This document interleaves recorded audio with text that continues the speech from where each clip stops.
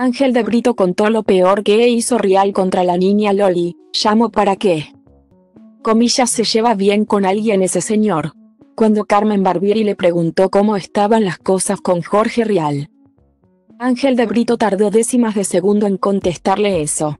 Le salió del alma. De alguna manera, el conductor del AM le hizo la espontánea a su colega.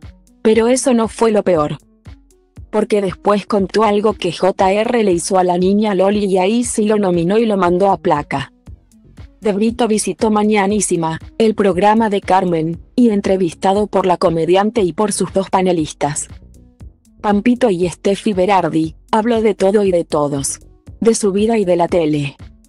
De sus deseos y de sus rivales. De sus sentimientos y de los famosos.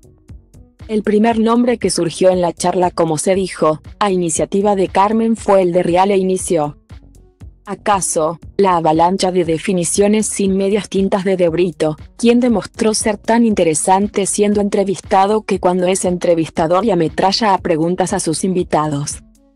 A ver, yo nunca tuve un problema grande con Real, una pelea fuerte con él, principalmente porque nunca trabajamos juntos porque nunca compartimos un laburo. La época que más lo vi fue cuando la niña Loli estuvo en el bailando. Pero después no somos de frecuentarnos, admitió Angelito. Lo que sí reconozco es que siempre lo critiqué muchísimo. Muy fuerte. Y cuando nadie lo hacía. Cuando todos le tenían miedo nosotros le pegábamos, lo saben acá en este canal porque hacíamos de grande debe chica reconoció el periodista. En ese momento, tanto Carmen como su gente quisieron saber si Real sigue teniendo poder y generando ese miedo del que habló de Brito. Sí, en algunos sí. Y a él le gusta sentirse el diablo, estimó el hombre fuerte de Lam. Fue entonces que le preguntaron por la niña Loli y el mito de que Real la hizo quedar sin trabajo desde que dejaron de ser pareja.